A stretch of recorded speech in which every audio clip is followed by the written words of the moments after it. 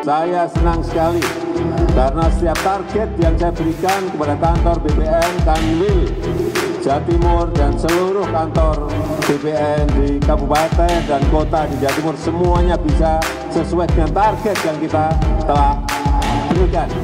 Tahun yang lalu 5 juta sertifikat sudah selesai. Tahun ini 7 juta sertifikat harus selesai. Depan target kita 9 juta sertifikat harus selesai.